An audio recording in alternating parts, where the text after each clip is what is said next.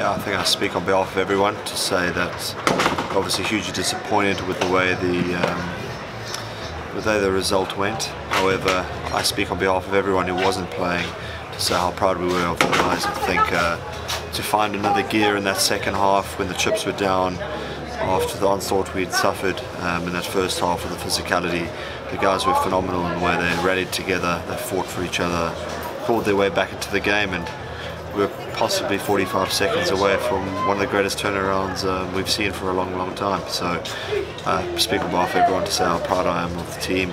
It's been a fantastic year. I think uh, we've exceeded expectations. We always set out on this journey to create memories, to enjoy the ride, and we truly have. Um, this is a special group.